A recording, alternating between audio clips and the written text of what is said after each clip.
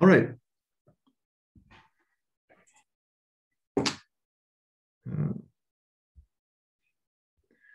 If you remember, last day we started on quantum error correction. And I said that the plan was first just to figure out how it is that quantum or quantum error correction is even possible. You know, what is it and, and how is it even possible? Um, then we'll discuss a little bit why it is that quantum error correction occurs quite naturally in many body quantum systems. And then I'll move on to the formalism of stabilizer codes and uh, hopefully we'll get to the example of the toric code. Um, so that's the plan. And we got partway through, or we got through the first quantum error correcting code. And I'll refresh your memories on what was going on there. It was a very unambitious quantum error correcting code.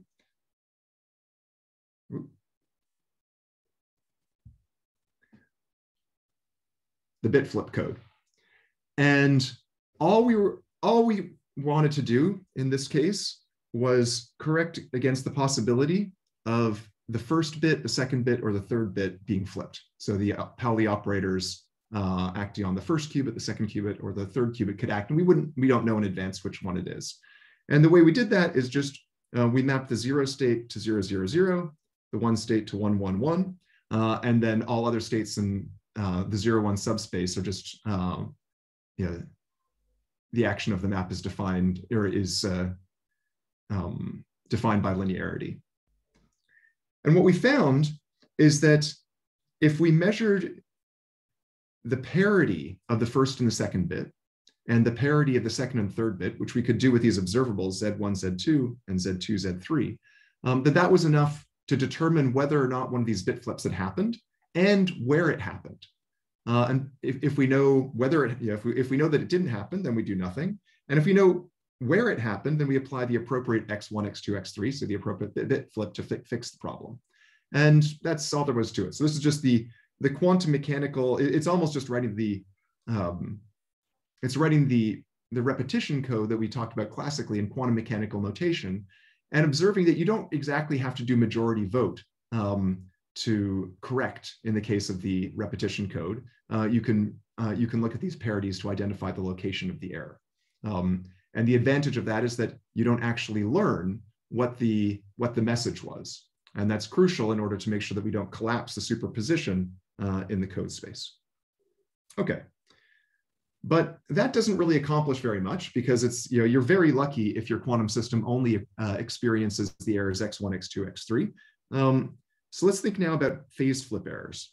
So we could have the identity, Z acting on the first qubit, Z acting on the second qubit, or Z acting on the third qubit, like so. Um, now, a first question would just be, maybe, you know, maybe we're lucky. Maybe that bit flip code that we wrote down can correct against these errors already. So let's just check. Let's think about, for example, Z1 acting on one of these code states for the bit flip code a superposition of 0, 0, 0 and 1, 1, 1. What will it do? It will map it to alpha 0, 0, 0 because uh, Pauli Z does nothing if the input is 0, but it flips the phase if the input was 1. Okay? Now, this is still a superposition of 0, 0, 0 and 1, 1, 1. And so this is in, I called it script C was the, the bit flip code up above. So it's still in the bit flip code subspace, uh, when we measure the you know, when we measure the parities, the parities all all check out, and so um, the bit flip code will not detect any errors having occurred. So the bit flip code is not going to correct against these these errors. Um, so the bit flip code cannot detect phase errors. So we have to do something else. Um, but what we do is, uh, yeah, it's, it's not very difficult. Um, I'm just going to write down a little unit two by two unitary matrix called the Hadamard matrix, one, one, one, minus one. Um, and this is the matrix that takes the Pauli X to Pauli Z and the Pauli Z to Pauli X, right? Because remember, these are uh, X and Z are, are both um, two by two matrices whose eigenvalues are one and minus one. So they're related by uh, some change of basis. And the change of basis is this, uh, this Hadamard. Um, so the eigenstates of this of the Pauli X operator, we've seen them before. They're the superpositions with opposite signs of zero, the zero and the one states. And if we ask, what does uh, what does Z do to these eigenstates? Well, it flips the phase. And so it maps plus minus to minus and plus, right? And so this phase flip error, Z, is actually a bit flip error. So is a bit flip, as long as you work in a different basis, right? So we're used to diagonalizing, you know, you're given some matrix and it's not diagonal, and then you write it in the diagonal make uh, basis to make it simpler. Here, the Zs are given to us diagonal, and we write them in a basis in which they're not diagonal because we want to turn them into bit flips, right? So we sort of do the opposite of what you're used to doing in linear algebra. Um, and because the, the phase flip errors in this plus minus basis are just bit flips, um, we can just use the, uh, the basis in which phase errors are bit flips to define the code. So we just map alpha zero plus beta one to alpha plus plus plus plus beta minus minus minus, right? So it's still a repetition code, and it's actually, it's, it's a bit flip code, but in a different basis. Um, and here, I'm just going to fill in that table, this, the analog of the table we did last day. What observables are we going to measure and what actions are we going to take? So let's go back to the table uh, for the bit flip code. It's going to be exactly the same thing, but X's and Z's are switched right? And so the observables we'll measure will be x1 and x2, uh, and z1 or uh, x2, x3, and then the actions we, we take will be to apply the appropriate phases. So our observables are now x1, x2, x2, x3, and that measures the parities of the pluses and minuses. And if they both check out, we do nothing. Uh, if there's a phase flip in the first qubit, we apply phase flip in the first qubit, and likewise phase flip in the second, phase flip in the third. And so that's the, the that's how you protect against phase flips. They're just bit flips in a different basis. Okay. Any questions about that?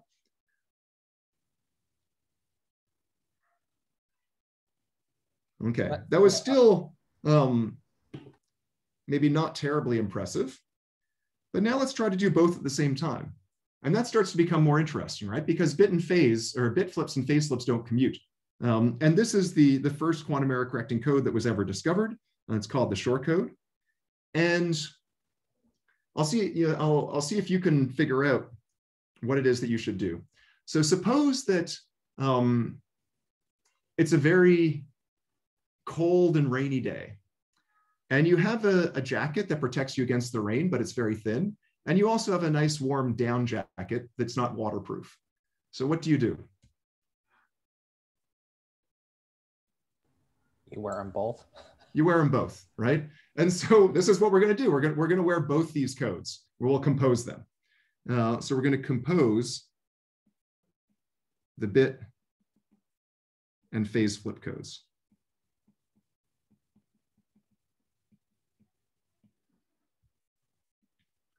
And so we're going to have an input state phi that's going to be mapped. You know, time is going from left to right into some logical uh, logical phi.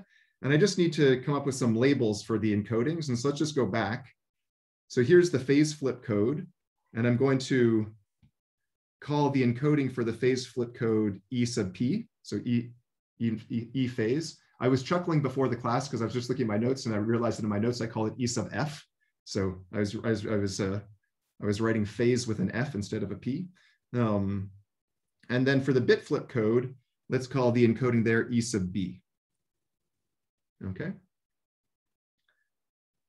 So um, we're going to do one and then the other, and it's convenient just to, to do the phase flip code first. So EP, and then the bit flip code afterwards. There was a question? Yes, uh, sorry to interrupt, but I was sure. just wondering, you know, when you were discussing the phase flip code, what if I don't, uh, if, uh, what if I introduce a, a, random phase, you know, not plus minus one, but. Oh, ex excellent question. And that will be the next slide. Okay, thank you. Yeah. So I'll just finish filling these in like so. And let's just think about what the code words look like. So if we have zero coming in, um, the phase flip code maps the zero to plus, plus, plus, and it maps the one to minus, minus, minus. And I'll, and then the bit flip codes what does that do? It repeats the bits inside each of those minuses, right? So the first minus becomes 0, 0, 0, minus 1, 1, 1, because it, was 0, minus 1, and now we repeat the bits. The second one becomes 0, 0, 0, minus 1, 1, 1. The third one becomes 0, 0, 0, minus 1, 1, 1. And the reason I did the minuses first is so I can just copy them. The plus, this, uh, the pluses are the same, but the phases are plus. Oops. Plus, plus, plus. So that's what the code words look like. Um, it's a little bit, a little bit cumbersome. Uh, and as you'll see, we don't usually work with error correcting codes explicitly in terms of the wave functions for that reason. Um, but let's think about what we what we're going to need to measure to correct this code. Uh, and at the outer level, you're, you're you know, closest to the actual physical qubits, we're just encoding into bit flip codes, right? And so we're going to have to correct each of those bit flip codes. Uh, and you can see that in the code words um, that we have these repeated sets 000111, uh, 000111. And so we can just uh, correct those bit flip codes uh, independently. And for notation, I'll just number the qubits. Oops. So one, two, three, four, five, six, seven, eight, nine.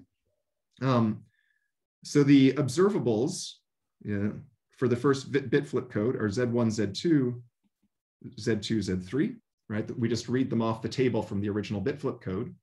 Uh, for the second bit flip code, it's the same thing, but we start at we start at four. So Z4, Z5, Z5, Z6. And then for the last one, it starts at seven. So Z7, Z8, Z8, Z9. And this is going to, if you, if you measure the parities, you'll learn if there was a bit flip and you apply the appropriate XJ to correct. So that covers the bit flips.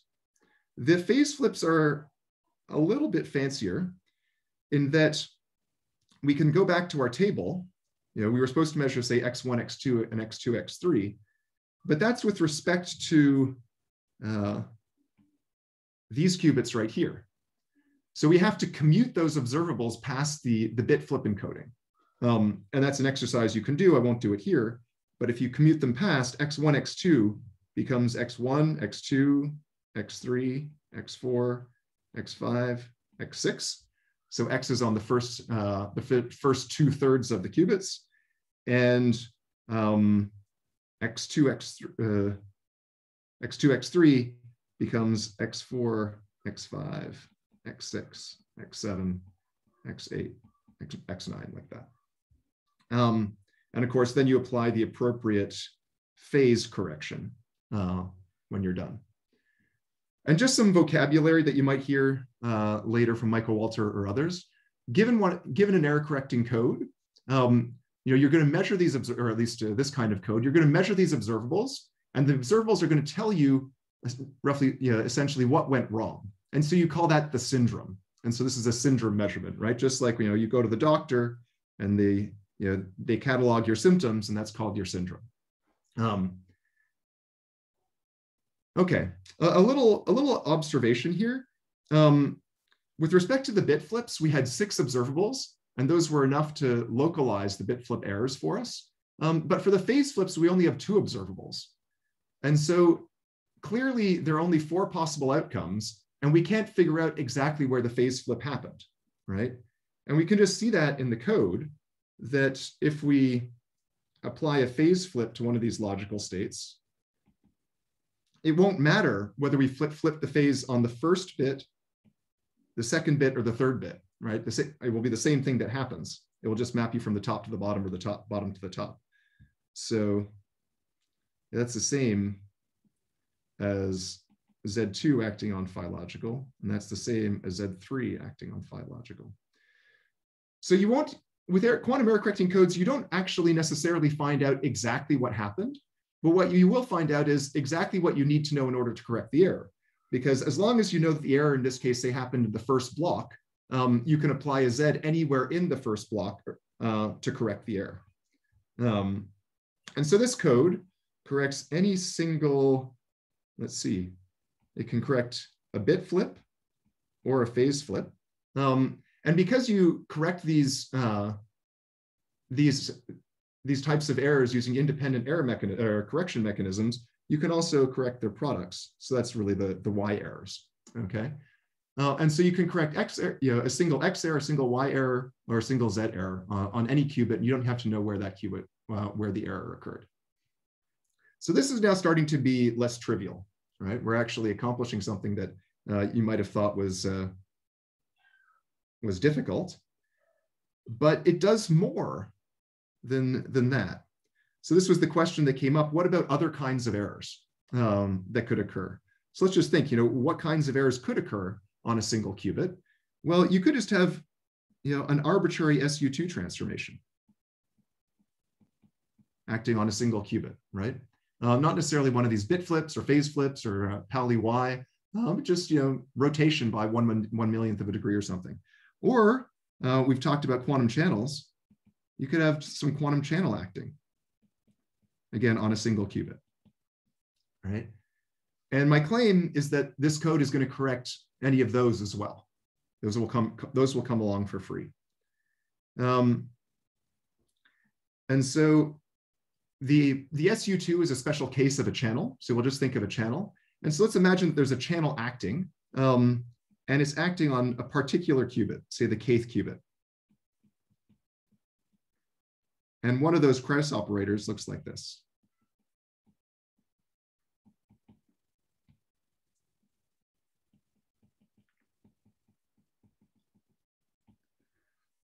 And so it's going to be sufficient to correct for an arbitrary matrix acting in the kth position.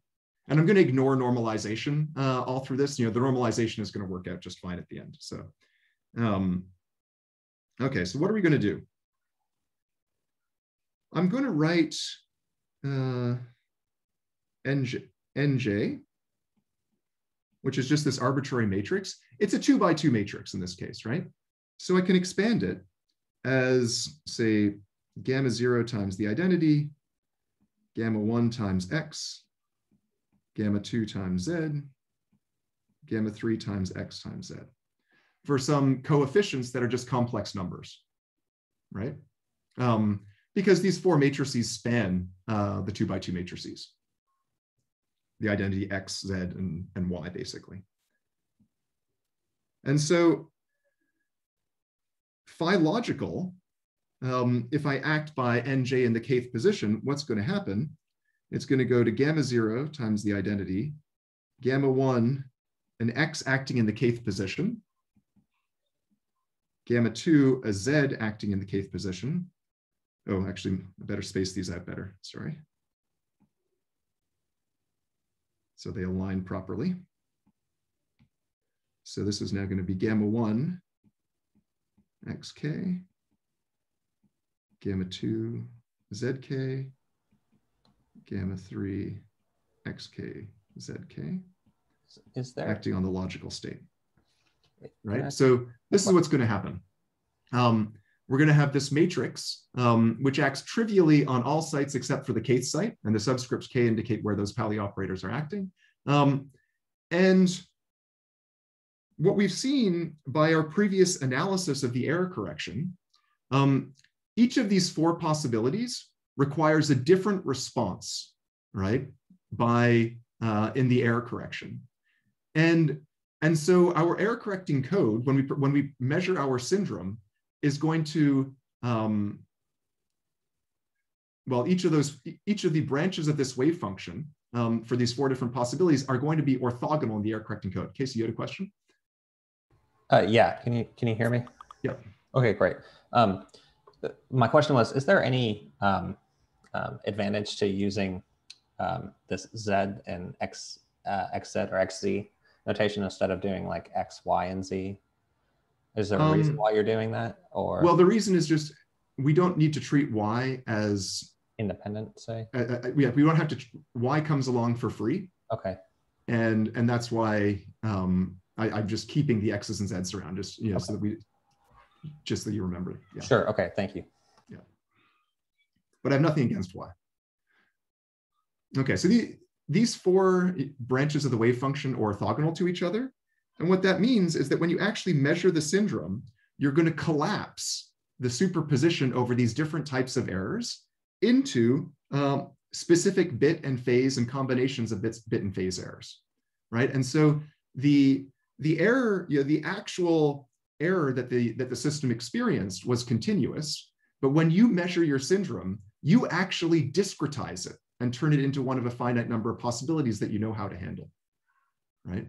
And so that's a that's a wonderful thing about quantum mechanics, right? Uh, yeah, the, the errors are continuous, but you can make them discrete, right? You can discretize them.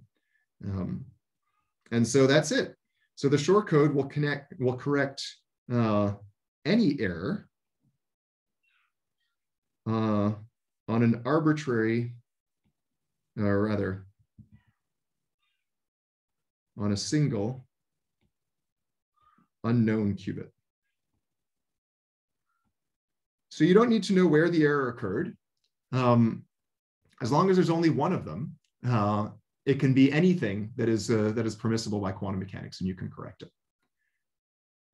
And so all those, uh, all those objections that were made to the possibility of being able to perform quantum error correction, um, you know, the fact that there was no cloning, the fact that the errors were continuous and the state was continuous, the fact that measurement causes disturbance, none of these things is actually a problem, right? We're actually making use of the fact that measurement causes disturbance to discretize the errors. That's actually a good thing. Um, and so quantum error correction works. Are there any other questions about that before we move on? Casey, your hand is up, but I think it's just a legacy hand. It is. Sorry about yeah, that. Okay. I'll take it away. Yeah, no problem.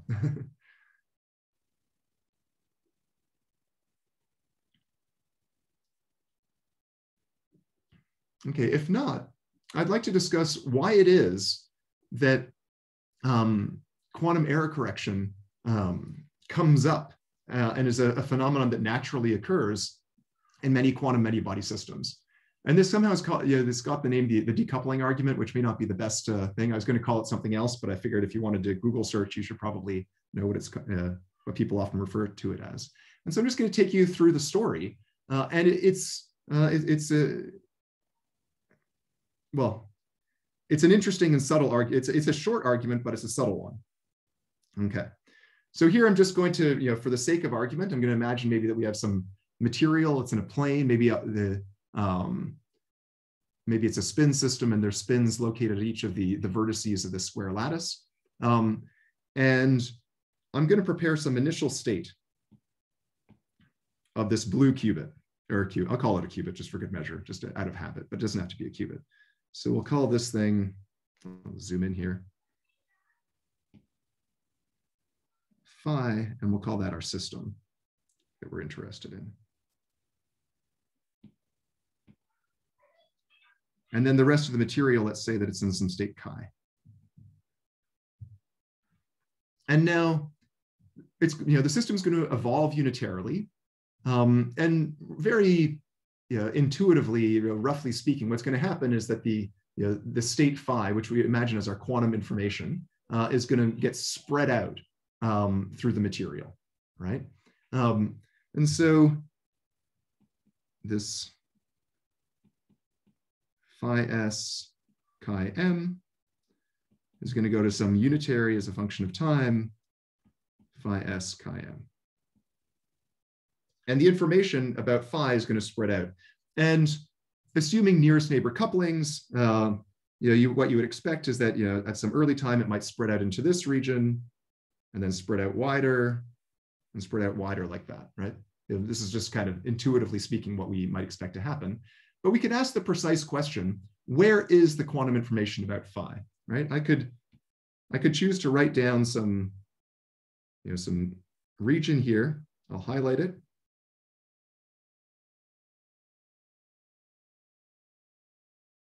I'll even, get, even give it a name. I'll call this A. And we could ask, is the quantum information about phi located at A in some future time? And that language is, you know, it's vague language, but in an earlier lecture, we discussed what it means for quantum information uh, to be transmitted from, yeah, uh, transmitted somewhere. Um, and the way that we, we saw that a good way to talk about that was to introduce a reference system that was entangled with a system of interest and to see whether the entanglement with the reference system uh, can be recovered from the, uh, you know, in the, in the situation you're interested in. So we'll introduce a reference system. So reference system R that's entangled with S at time t equals zero. And then the question is really going to be, where does the entanglement with the reference, how does the entanglement with the reference um, propagate through this, uh, this material? And can you recover it when you look at a subsystem? So we're going to abstract this away. We're not going to talk about the individual sites and the nearest neighbor coupling or anything like that anymore. And so I'm going to draw this in our, you know, our usual picture where we have um, quantum systems propagating from left to right um, and maybe some unitary transformations or channels or other things uh, in, in blocks. And so I have my system and the rest of the material. The rest of the material started off in the state chi. And we introduced a reference system R. And we'll say that the system is originally entangled with the reference. And then they jointly undergo this time evolution, U of t. And let's say that after U of t, we have to give the state a name, so we'll call it rho. And it's a pure state. Uh, and I guess we introduced this system A, and that we wanted to ask the question, is the entanglement with reference present in A? And let's just call everything else A bar. Are there questions about the setup there?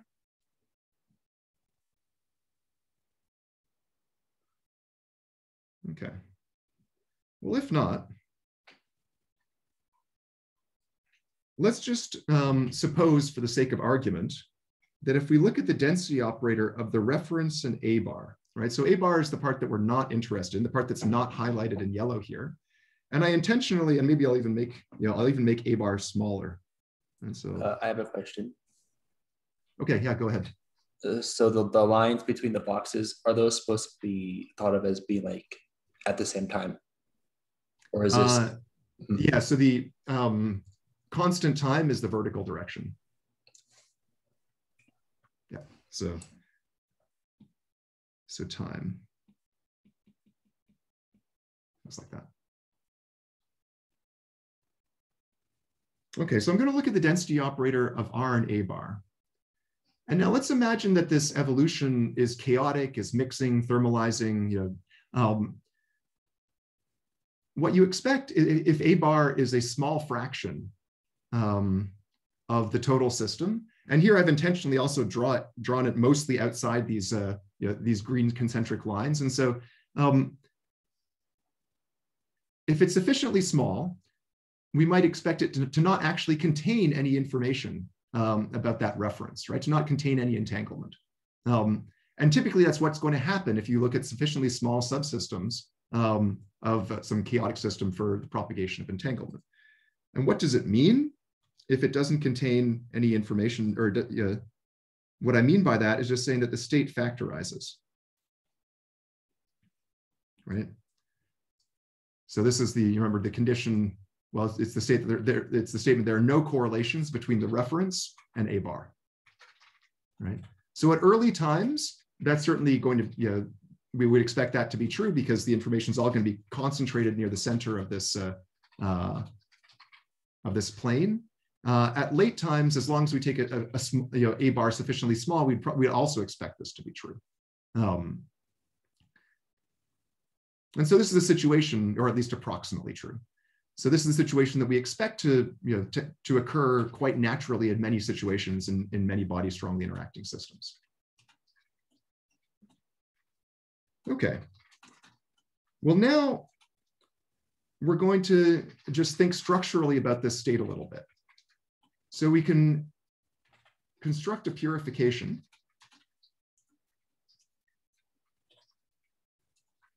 And we're going to purify rho A bar, uh, rho R A bar. So rho R A bar. And I'm going to purify it to some larger system. Right, so remember, we, we talked about purifications of quantum states early on. This, these are just quantum states that are pure states. When we trace over the, um, the extra systems, we get, we get back the original density operator we are talking about. So the way that I'm going to do it is I'm going to purify it to another copy of S and some system B. Okay. So why am I doing that? Well, the reason I'm doing that is that I could I already know how to um, well, sorry, I'm going to give myself a little bit more room here. So this quantum state is a product state. And so I can purify them individually, right? So first I'll purify rho r, and then I'll purify rho a, a bar. And if I want a purification of the reference system state, well, it means I'm pure, I want a purification of the reduced density operator on R. I never touched the reference, and I have such a state already, phi, right? That's a purification of the reference. So I'll use that. So I'll say my purification is going to be phi reference S, just the same as the initial state we started with. Um, and then I also have to purify the state on A bar. I don't know what I'm going to purify it as. It doesn't really matter. It won't matter for the sake of this argument. So I'll just say I'll purify that to some system B. Okay, so this is, you know, I've just written down some purification, which is a valid purification of the state. And I'm going to introduce some labels here. This is going to be S, and this is going to be B at the end of the day. But we'll, you know, we're not there yet. So all I've done is I've said mathematically, this, you know, this new state that I've written down, and I'll highlight it, um, that is a purification of the state on R and A bar. Know, that's all I'm saying. But then we go back and remember the Schmidt decomposition right? What did the Schmidt decomposition tell, tell us? It told us that if we had a bipartite pure quantum state, um, all states with the same Schmidt coefficients were unitarily related to each other with, with local unitaries acting on both factors, right? And if the Hilbert space dimensions weren't the same, then these weren't necessarily unitaries, um, but they were inner product preserving maps, you know, so they're sort of morally unitaries. Um, so let's apply that in this situation because we're going to have two different purifications of, of rho r a bar. So in the first case, um, what do we have? Well, let's see. What's my first, what's my first purification of AA bar? Well, it's the actual state in the quantum system that we're talking about, the state rho, right? So rho was actually defined as a state that was globally pure. So we can talk about rho. And we're going to relate it to the new purification that I wrote down to uh, SB. And that was phi psi. Okay. And you know, the argument from the Schmidt decomposition just tells us that by acting locally on the A system or and the SB system, we should be able to turn one of these states into the other.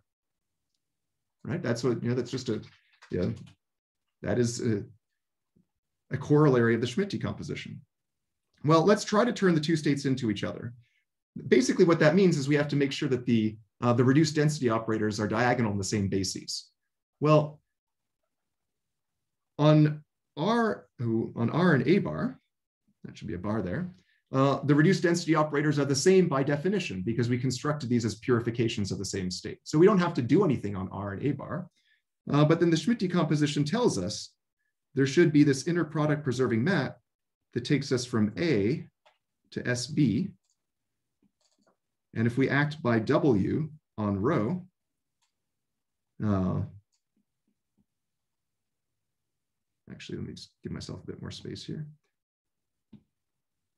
So we, we do the identity on R A bar tensored with W that will take A to SB and we act on rho. What we'll get out is our phi.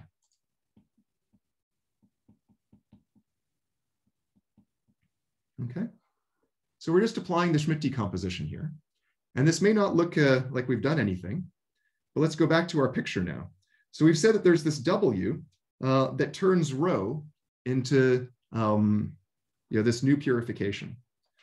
So this is going to be W. this block that I wrote down. And if we apply W, then we get phi up here, and we get psi down here, right? That was what the Schmidt decomposition told us.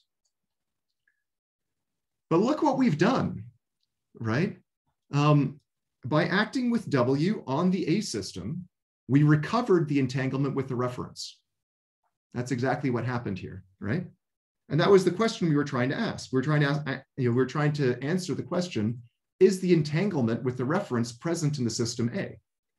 And what we found is provided there are no correlations between the reference and the complement of A, then yes, the entanglement um, with the reference is present in A.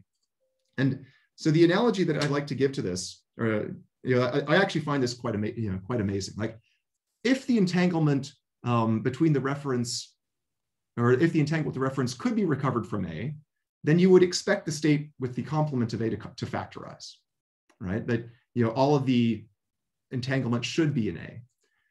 Um, but now we're finding it's a converse, right? That um, provided there's no correlation with the reference in A bar, then we can recover the information from A. Yeah, and I said the, the analogy that I like is, you know, suppose that you're, you know, you're driving your car and all of a sudden you find that there's some acrid smoke filling the cabin. You say, oh, this is bad. And you, you know, you, you get your car to, the, to a mechanic and the mechanic looks around, um, it peeks inside the car a little bit and says, ooh, yeah, acrid smoke, that's terrible. And so the mechanic just rolls down the windows on your car and the acrid smoke uh, you know, leaves the cabin and then just says, okay, great, problem fixed, right? You know, you, you your, your reaction would probably be not to pay this mechanic. Um, but in this case, um, this is essentially what you do. You look for the this, you know, you look for the symptom, you know, the, the smoke um, being, you know, some indication that something is wrong, which is would be correlation of the reference uh, in A bar. That's some indication that the you know, there's correlation between, you know, that, that, that is leaked out of A. And provided you see there's no, you know, there's no smoke, there's no correlation between the reference and A bar, uh, then the problem is fixed, right? There's, you know, the, the, the entanglement has to be in A already. Um, so this is the, this is the argument. Um, maybe I'll just write down a couple more things here. There's a question from. Oh yeah, go ahead. Oh yes, I guess um, like in practice, like you don't know how to actually find W, right? Like if you actually want to perform the recovery operation. So do you have any intuition for like when it is easy to find W and when it isn't? And like, I guess what Oh, uh, so I haven't told you how to find W, but there, yeah, there, there's, you know, there are things that you can do for sure. Um, so I'll come back to that in one second because I just want to say a, a, a little bit more. I mean, uh, like you can extract W from the singular value decomposition, right? At least in principle, right? It's there. Um, it is one of the matrices in the singular value decomposition. And the, yeah, the, the proof, there, there are algorithmic proofs of the singular value decomposition that will tell you how to find W, but I, I can say more about it than, than that in just a second. Um, so I'll just say, you know, I'll just write it down so it's in the notes. So W decodes the entanglement with the reference from A.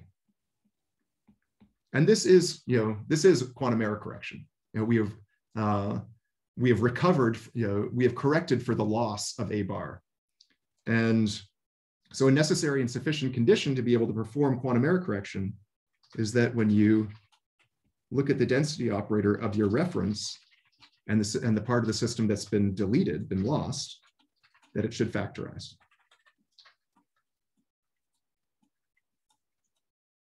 And this works perfectly well in the approximate setting as well. So if the fidelity between the reference and A bar and the product state is at least one minus epsilon, um, if you recall, the definition of the fidelity involved looking at purifications and optimizing over purifications. And so you can run this, you know, this argument not using the Schmidt decomposition, but just the, the definition of the fidelity. And you'll find that you'll be able to recover the state with fidelity at least one minus epsilon. Um, so coming back to the question, how would you find this map? Um, in the case, so another approximate version of this statement that you could make would be that the mutual information um, is high. And that's going to be a special case of some monotonicity of relative entropy. And there's the, I think I gave you the reference to approximate, um, the approximate, um, well, we made the statement that for monotonicity of relative entropy, um, if the monotonicity is saturated, then you know there's a recovery map. If the monotonicity is approximately saturated, there's an approximate recovery map, and the, the map is explicit. You know, and, and so you can apply that in this situation to get an approximate recovery. And so when I mentioned that we had applied this, uh, and I gave a reference in the case of entanglement wedge reconstruction, um, you can go and look in the paper and you get, you you'll see that there are precise, you know, there are actual formulas for how you would, uh, for what W would look like. It's not, we, we, I guess we don't write down exactly W because we're only interested in the channel from A to S. So we trace over the B system. Um, so we write down that channel, but it's, it's what you care about. I assume. Yeah. Are there other questions? Again, this is a this is a pretty. I find like this is you know there's this is a pretty subtle argument. Uh, it's you know it's it's not hard, um, but you're kind of pulling a rabbit out of a hat, uh, right? That you're getting some very strong conclusion from what look like you know you know weak statements uh, or without ever having to do anything very difficult. And so um, I, I, encourage you, if you if you're going to, I encourage you to take a little bit of time to mull this over, because this is uh, this is the reason, know, or at least one of the reasons that quantum error correction just appears naturally, as I said, in many body systems and holography and elsewhere. Other questions?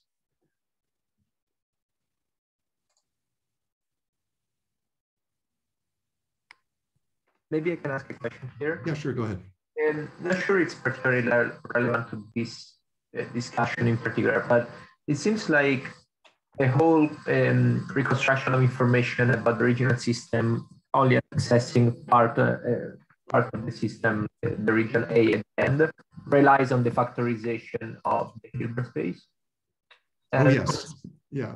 But if that's the case, uh, how can these be applied, for example, to gravity or black hole information paradox if we know that in gravity, I mean, at least it's not really clear if the Hilbert space actually factorizes and probably doesn't. Yeah. Uh, okay, so that's a that's a great question. Um, it might be one to have in the discussion section, but the part of the answer to that story is that all of the yeah everything that I've been talking about here can be expressed in dual language where you speak about algebras of observables and um, and you speak about restrictions of algebras uh, and um, and commutative algebras like instead of tensor products and so that language might be um, better like more appropriate um, in the you know, certainly in quantum field theory, but even in a, in a quantum gravity setting. And in fact, it's it's necessary to go to the algebraic language um, to really capture, if not the intuition, but or at least you know some of the important phenomena uh, that occur there. Um, if the notion of a subsystem completely breaks down, right? So, like, well, then it's not even clear what you would mean by the question. I would say, right? So I, I, think this kind of reasoning um, should be applicable provided the question makes sense. Uh, but if the question doesn't make sense, then certainly the answer doesn't make sense. Um, okay, so the last thing I wanted to do, I'm going to come back to the to the Shor code and place it in a more general context. And this is the context. Uh, it's going to be the fam. Most of the codes that people work with, uh, you know, in quantum computation are in this family that we call stabilizer codes. And it gives you lots of interesting examples. And in the, in the context of holography, it gives you some uh, a lot of nice toy models that you can work with. And you'll, you'll see some of them uh, again over the course of the month. And so I just want to introduce you to this picture. Um, and so the starting point, we're going to have this Pauli group on n qubits, which is just the group that you get when you allow yourself to act by Pauli operators on each of the individual qubits. Um, and then you multiply everything out. So this is going to be the group generated by xj and say zk, one is less than or equal to j and k is less than or equal to n. So it's it's the it's basically the Pauli operators and the phases, one, one minus one, i and minus i. And we're going to think about subgroups of this Pauli group. Um, oh, whoops, sorry. Well, we are going to think about subgroups of the Pauli group, um, in, in particular, commuting subgroups. And our codes are going to be the common plus one eigenspace of all the elements of, the, of these subgroups. And so I'll, I'll use script C to de denote the code. And another way of writing this is going to be that the code is going to consist of all vectors in on the n qubits such that when I act by an element in this group, it doesn't affect the state. So for all m in S. And again, S is some commutative subgroup of the Pauli group. Uh, and this, you know, you can see why these are called stabilizer codes because the codes are defined by the condition that they're stabilized by the elements of the group. Um, we didn't use this language uh, at the time, but you know, the Shor code is an example. So I've written down here the, um, the eight observables that, um, that we use to uh, perform error correction in the Shor code. And if you are in the code, then all of the, when you measure these observables, you always got the the expectation, or you, you always got outcome one, right? The the eigenvalues are plus one and minus one, and when you uh, the the code words were all eigenvectors of eigenvalue one, and so that's you know this is a commutative group, and so that's also going to be true if you multiply out these uh, you multiply out these uh, these generators, and so there's a group here um, generated by these eight uh, these eight observables. And let's call G the number of generators. So the number of qubits is nine. The number of generators is eight. And the dimension of the code, um, you know, this is something that you can prove, is going to be two to the n minus g. So I'll highlight that. Now, of course, it's important that you, you, you have to take independent generators. Uh, for that to be the right formula. But in this case, that tells us that the dimension of the code is 2 to the 9 minus 8, which is 2. So there's a single qubit encoded.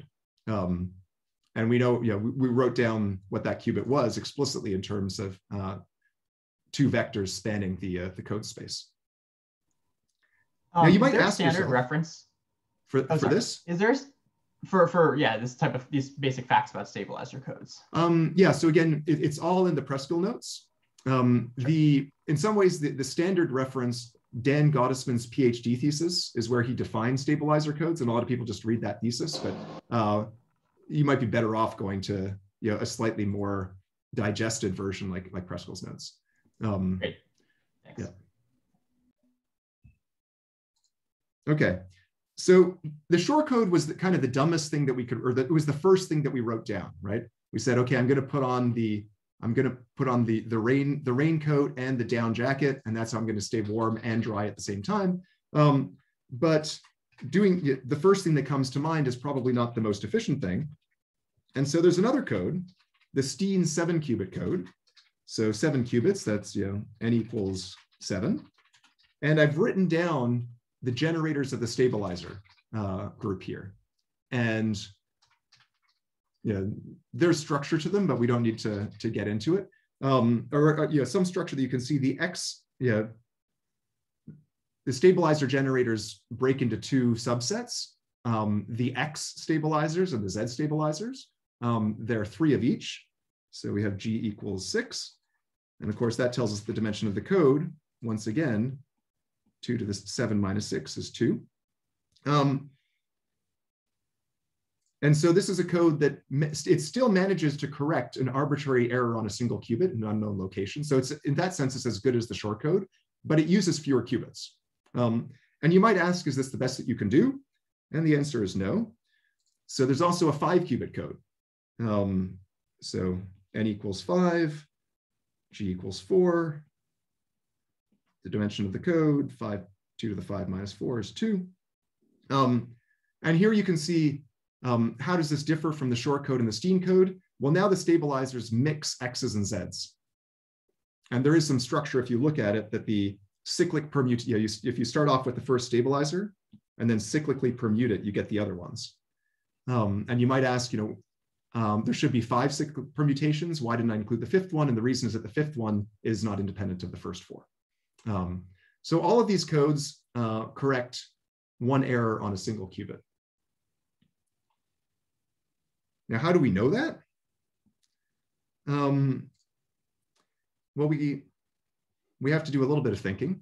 I'll just introduce some notation. The weight of an operator is uh, in this Pauli group is going to be the number of sites that are not the identity. So in this example, the weight is five. So this is the number of slots not equal to the identity.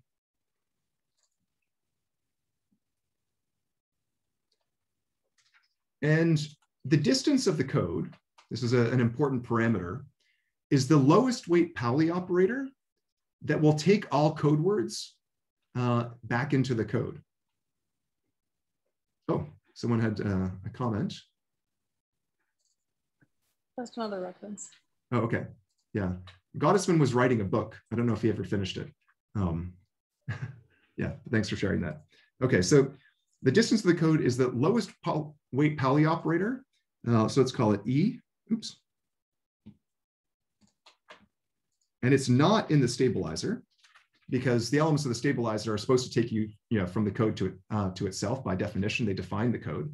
Um, but it's the lowest weight Pauli operator that isn't a stabilizer that still takes you back into the code. So phi, an error acting on phi um, is still in the code for all phi in the code, right? So this is an operator that can actually do something non-trivial um, to a code word. And mathematically, you can express this as saying that this operator E commutes with all elements of the stabilizer. And why is that the same thing? Well, if E commutes with an element of the stabilizer, then it doesn't change the eigenvalue of that stabilizer. And so um, this tells you that uh, E acting on a code word will still have eigenvalue plus one for all stabilizer generators, um, or all, all, elements of the stabilizer group.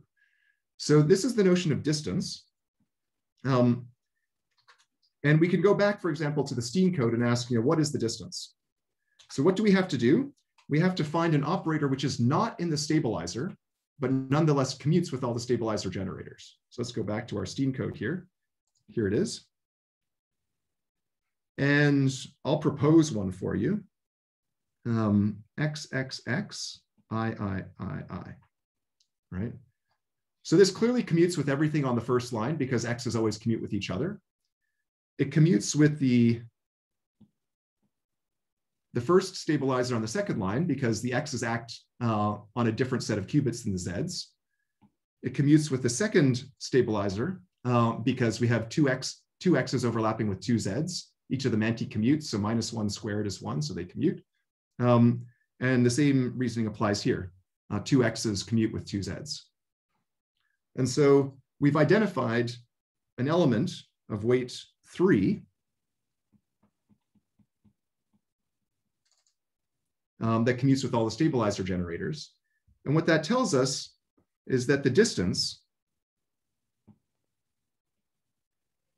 well, I'll say is equal, but it's really, it tells us that's less than or equal to three, right? Like we found, an, we know that the distance can't be any more than three because we found an, you know, we found an operator that, uh, that commutes with all the stabilizer generators and has weight three. But I'll claim now that is the lowest weight such operator. You know, if you, you'll never be able to find one of weight two. And so the, the distance really is three. And if we have a, a code with a known distance, and let's say the distance is 2r plus 1, then it can correct r single qubit errors. And it could at unknown arbitrary locations, and it can correct 2r errors at known locations. And if you want to understand why that is, you know, think back to the repetition code um, for bits that we, we saw early on. Um, so say the repetition code on, on three bits, um, the, the distance of that code is three. Because you, if you have the zero, zero, zero code word, you have to flip three bits to, you know, to send that code word back into the code. So the distance is three. Um, but if you want to be able to correct a bit flip, um, you have to be able to perform a majority vote. So you're able to correct just one, right? So here R would be one. Um, on the other hand, if you wanted to correct for erasure, you can correct for twice as many. You can, you can correct for two out of the three bits getting lost. And so classical error correcting codes and quantum error correcting codes work yeah, in a similar way here. So that's just the language. I think you'll, you'll, hear, you'll hear more about it later on in the course. But what I will, I think I have time to end with a very interesting example of a stabilizer code. Um, before I do, I do that though, I'll, I'll pause just to ask, you know, to see if there are questions.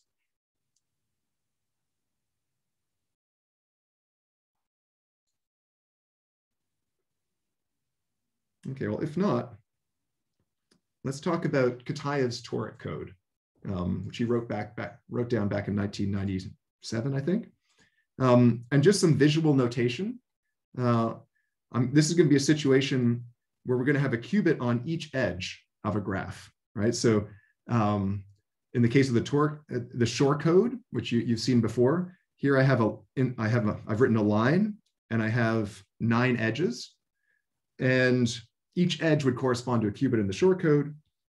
And so one element of the stabilizer might be Z1, Z2, right? So I would, I would depict it like that visually. And an, an ele another element would be X4, X5, X6, X7, X8, X9, right? So this is how that I would depict the stabilizers of the Shor code in this you know, graphical notation.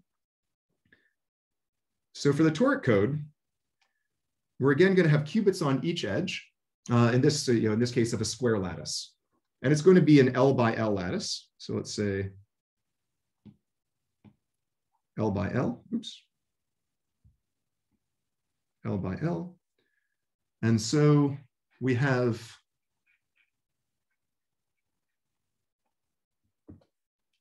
uh, let's see. And what I will do, I'm going to use periodic boundary conditions here.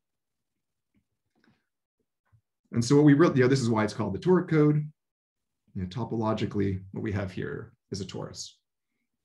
Um, so I have L squared qubits on the vertical edges, and I have L squared qubits on the horizontal edges. So I have a total of two L squared qubits.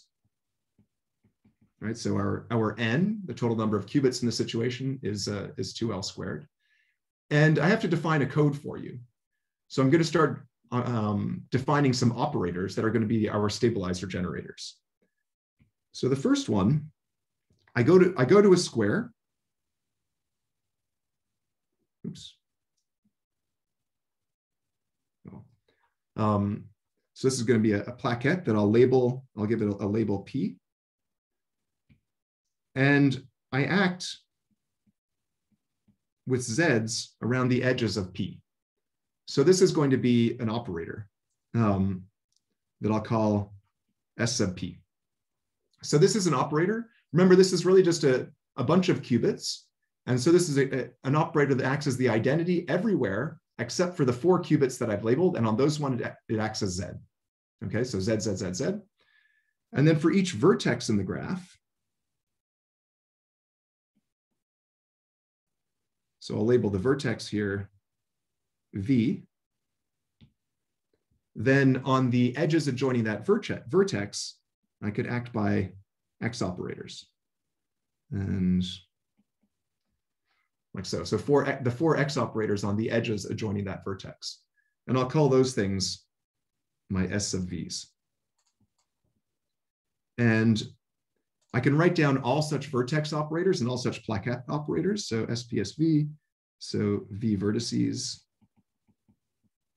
and P plaquettes.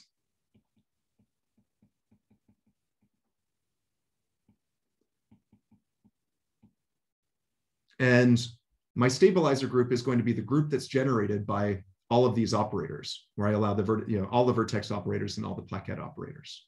Okay, so this, you know, this defines a code.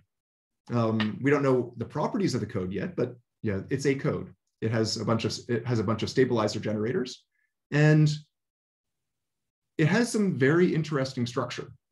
So let's think about um, what happens when we start multiplying up these stabilizer generators. So I'm going to multiply up, oops, say this one, this one, this one, and this one, right? So remember, each one of those squares represents z's acting on all the edges around the square.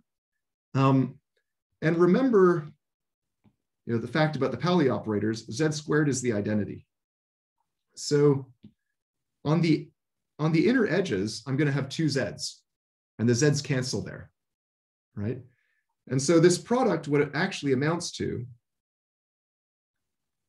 is z's around the outside, right? So I'll have Z, Z, Z, Z, Z, Z, Z, Z, Z, and Z.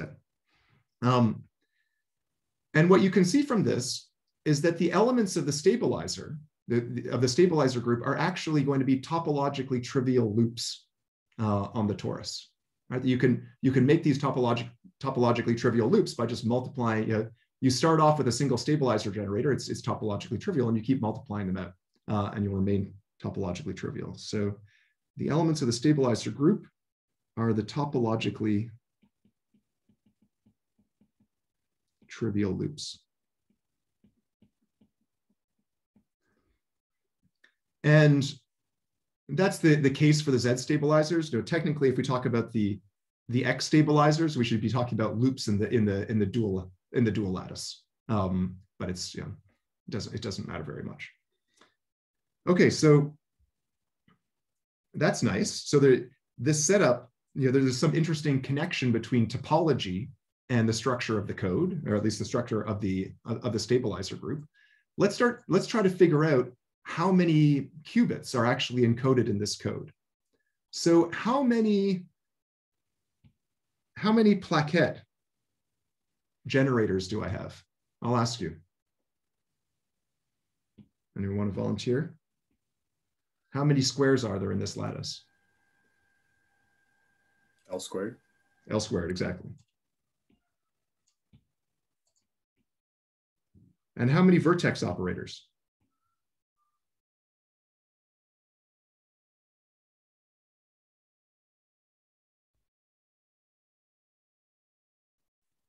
Also L squared? Also L squared. Um, you know, the vertex operators are just shifted, you know, a half unit to the left and a half unit to uh, up, say, from, from, the, from the corresponding plaquette. And so there are a total of 2L squared uh, generators uh, of this type. But that actually starts to, that doesn't look so good for us because we started with 2L squared qubits. We have 2L squared generators. And remember, the dimension of the code was 2 to the uh, number of qubits minus number of generators. Um, so that'd be 2 to the 0. So one dimensional code is not interesting code. There's no room for any information, right? There's just one state in there. Um, but my claim is that these are not all independent generators. What happens if I multiply together all the plaquette generators? So product over all P of SP. What do I get?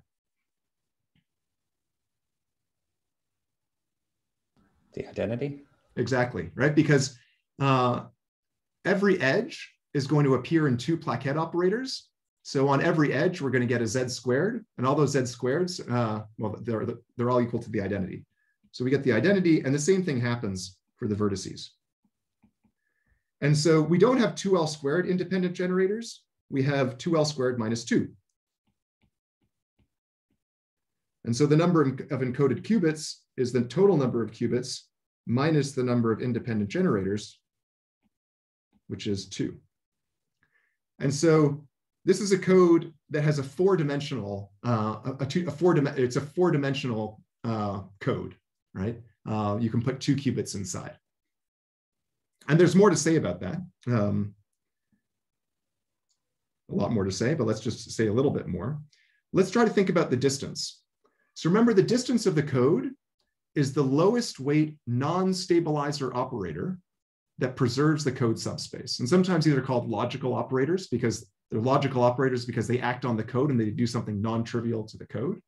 Um, and we haven't argued this totally rigorously, um, but the lowest weight non-stabilizer operator, how are you going to make it? You're going to make it by having a topologically non-trivial loop uh, on the torus. So for example, you could have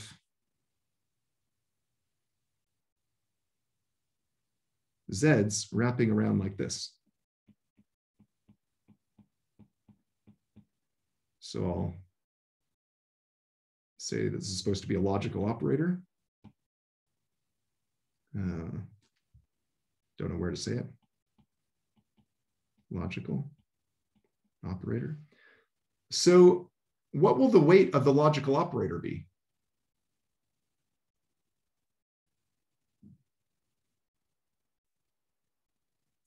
The weight of this lowest weight non-stabilizer operator.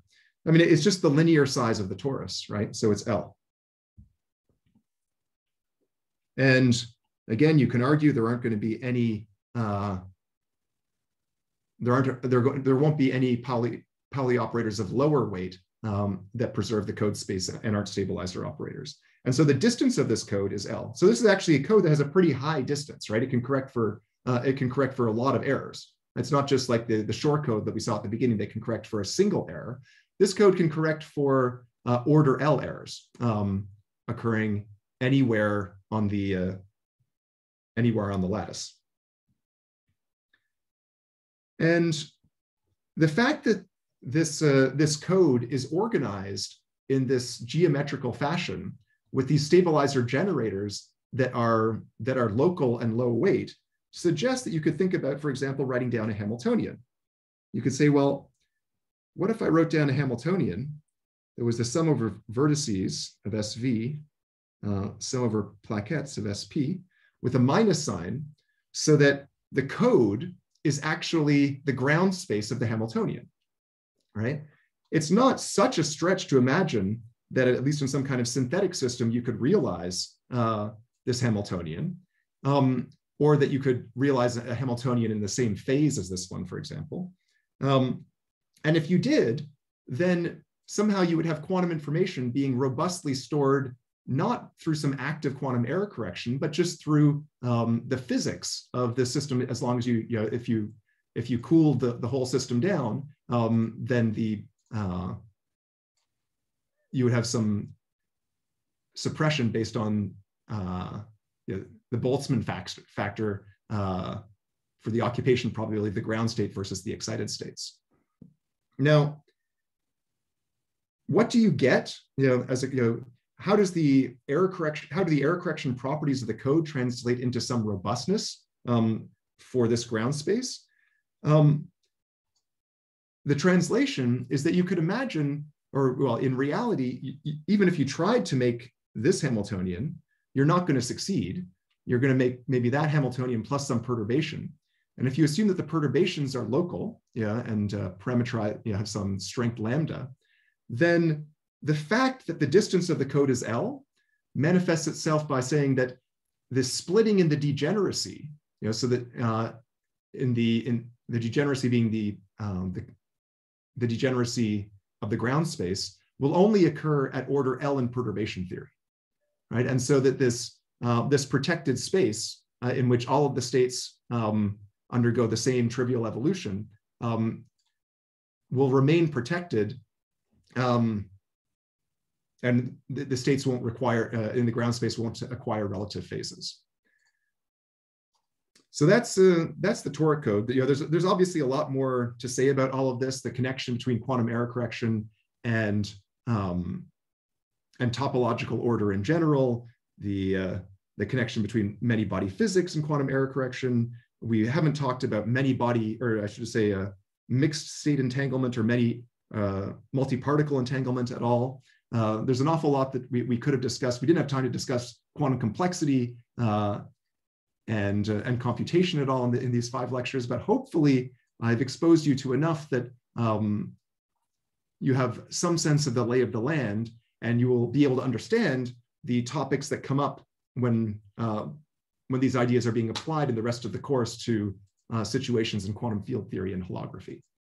And I think we're right on time. And so I'll thank you for your attention. I'll thank you for your questions. You had great questions. And I'll stop here. Thanks, Patrick. Um, so maybe we can have a few questions. I think Alec had a raised hand. Hi, yeah, thank you.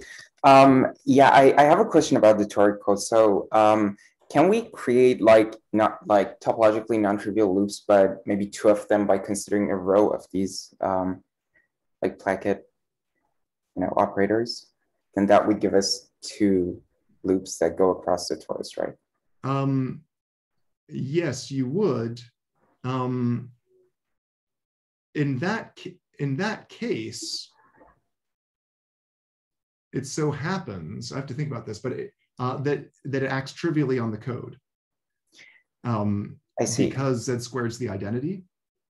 Um, so, it, so, it's actually yeah. Um, so when you when you have your your two encoded qubits, it you know it's useful to then think you know if you're actually going to use this for for quantum computation at least, um, it's useful to to say okay well how do I implement you know operations on my encoded states? Um, and first you have to decide what your encoded states are going to be, uh, and one way to do that is just you know to define what, you know, some algebra of Pauli operators acting on the encoded system. And this one, you know, the one that I wrote down here, um, is a natural way to write down the encoded Z operator for one of your qubits. And then the encoded X operator for the same qubit would be um, maybe I'll use a different color, red. Yeah,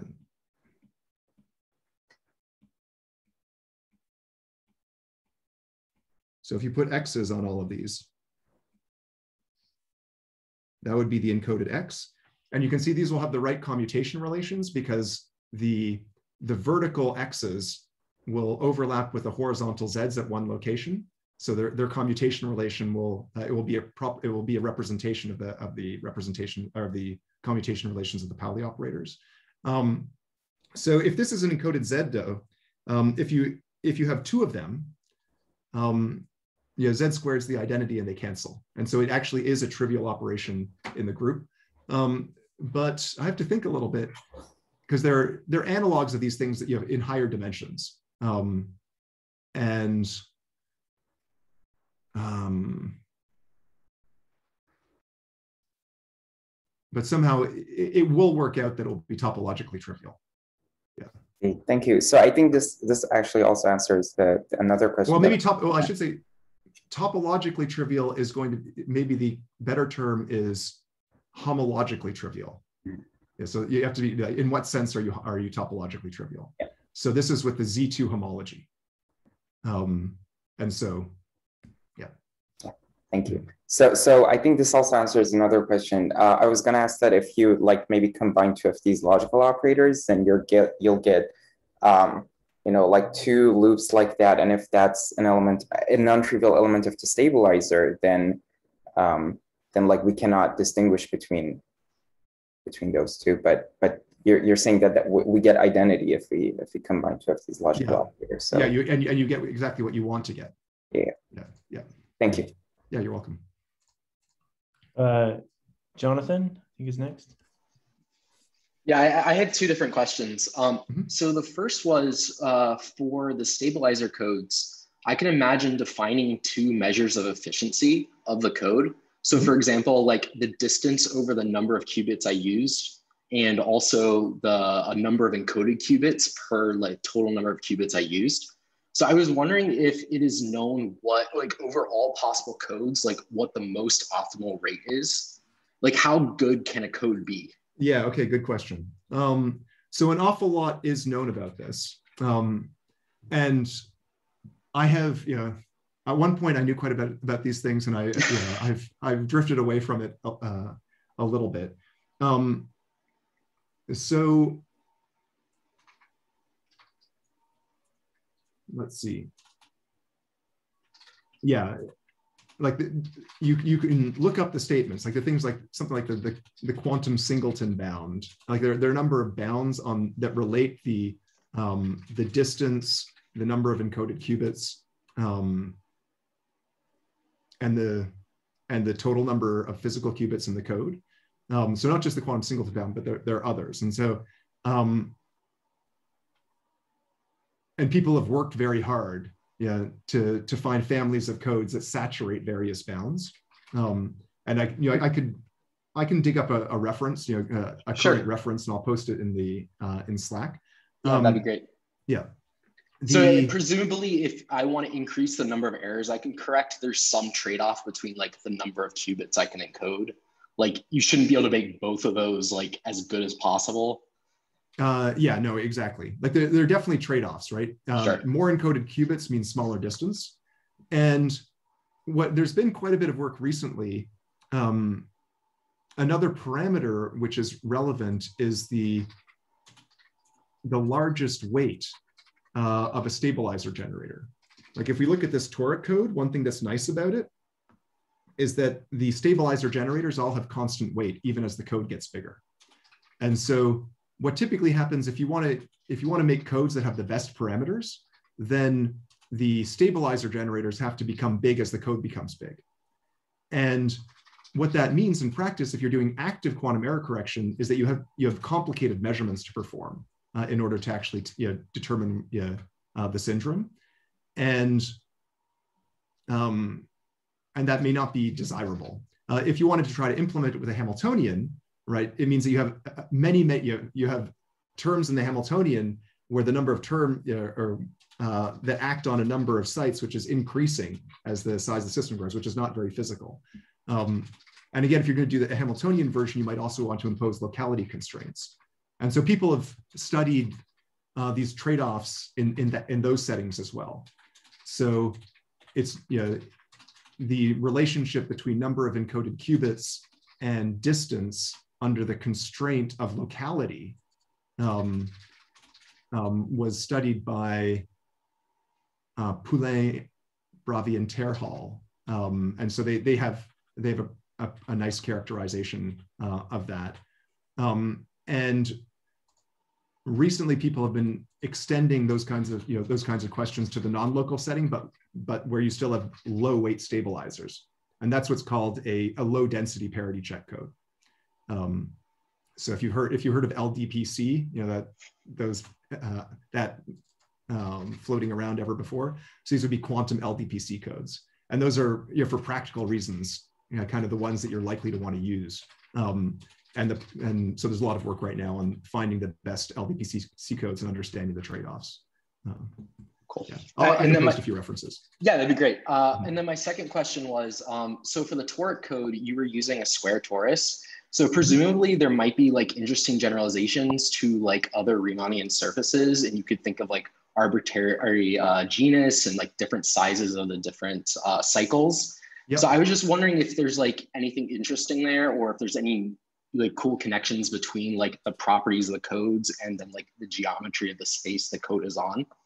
Um, yeah. So uh, the degeneracy of the ground space you know, it, it, scales with the genus of the of the system, as, as you can kind of imagine, right? Because um, really, if you, in order, you know, an encoded qubit, you know, I, I drew an encoded qubit here, and what you needed was a pair of cycles in the homology that were um, that were intersecting.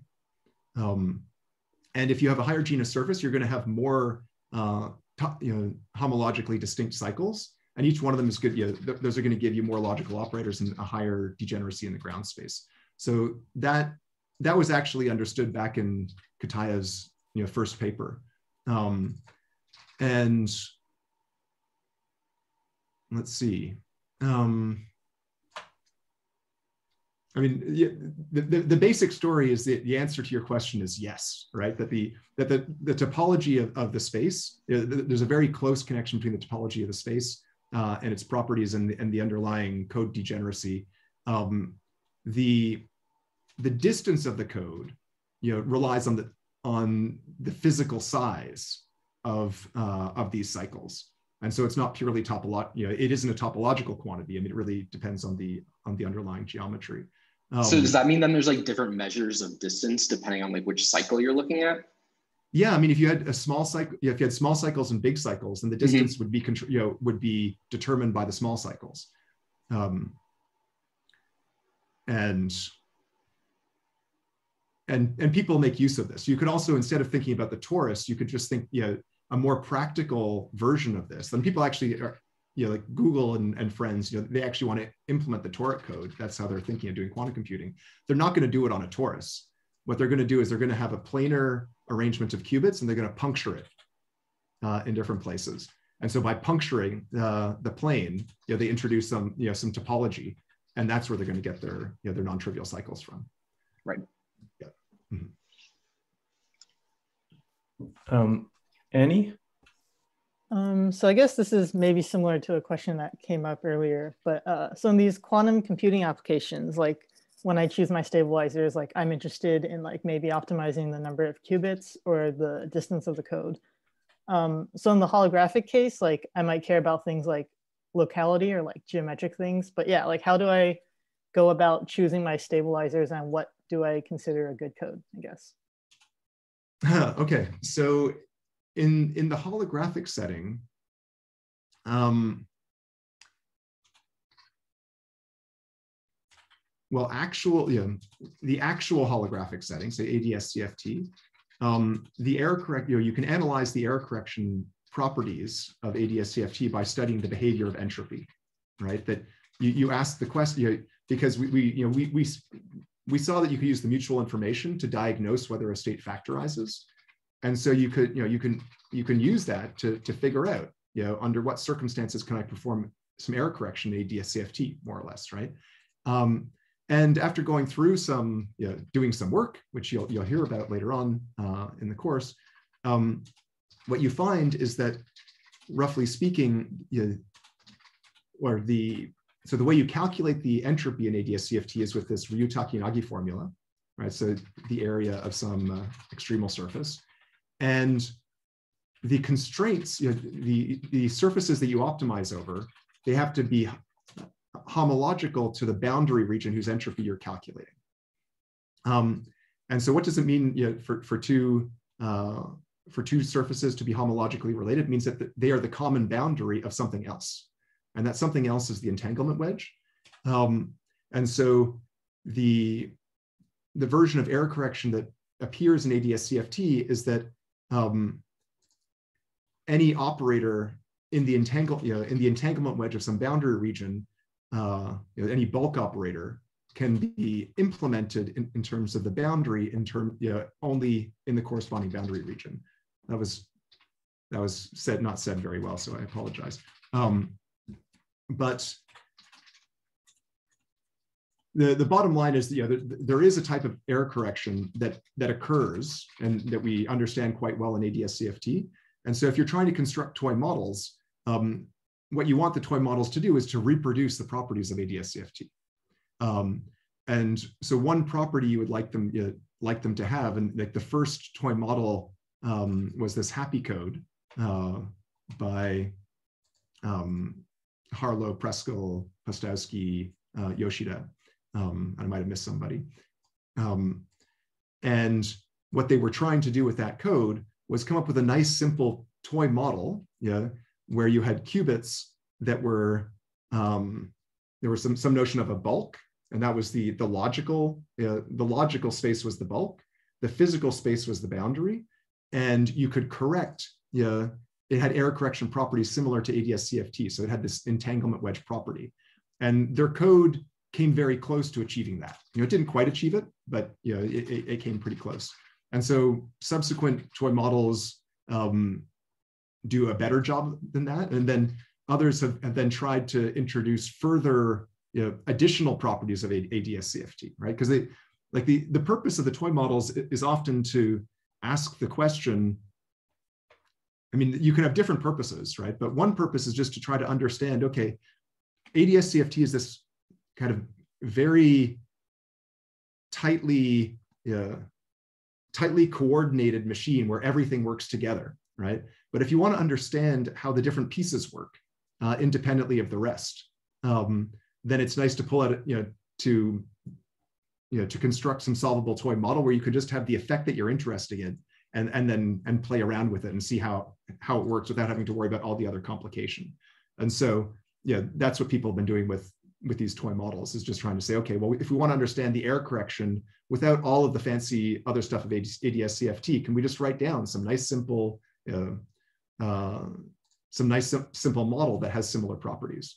Um, and I'd say that's the that's the, the real use of the toy models. I mean, some people to some degree have some you know some faith that they may they may have some fidelity to what's really happening.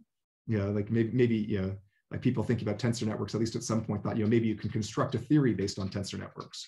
Uh, I don't have a, a, lot of faith in that direction myself. Like I think it may that might be barking up the wrong tree.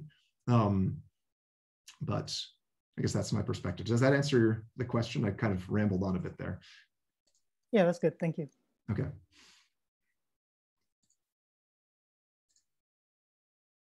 Um, Jacob?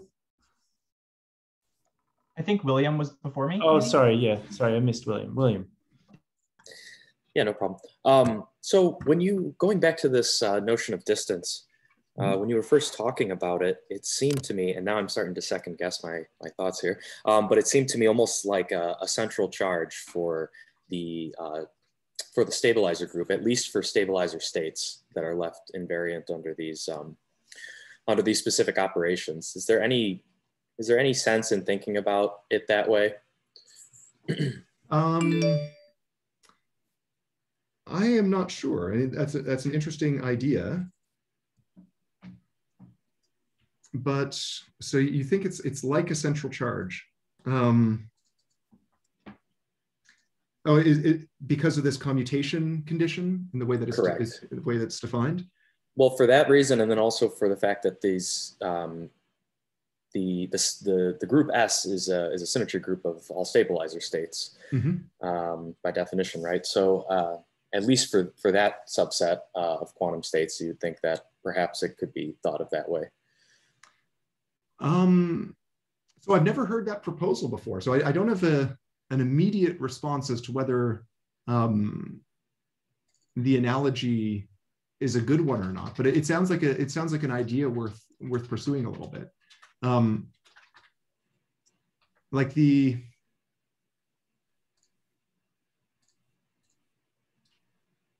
it seems that I'm not sure that the the parameter itself, which is measuring this weight, uh, mm-hmm. like the number of sites that acting, uh, is really the, the same kind of thing that's being measured by, by central charge. Um, but it may still be getting at some related concept. I, am afraid I, I, don't have very much to say about that right now, except that it's a, you know, it's an interesting analogy. And I, let's see, like maybe if you wanted to pursue it. Um, well, the error correction property, you know, like um, a lot of CFTs do have this error correction property. Um, there's a nice paper by Isaac Kim and a collaborator on error correction. Well, so, so there's holographic error correction. There's a whole literature on that.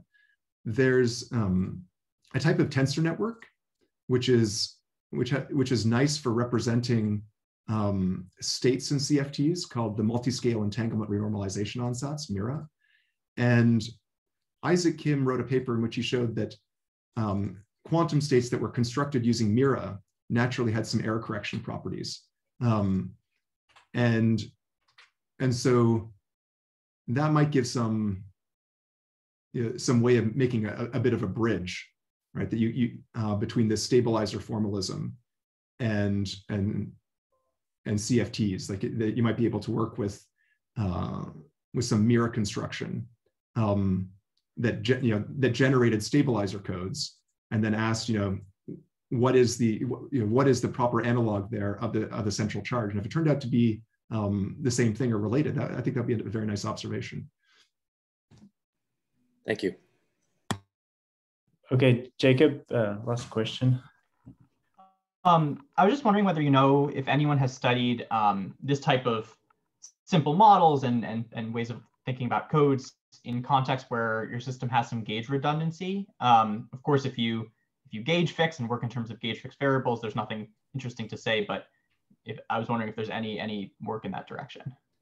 Um, I'm not that familiar with it, but yes, there is work. And actually, one of my students working with a postdoc is about to put out a paper on gauging the happy code.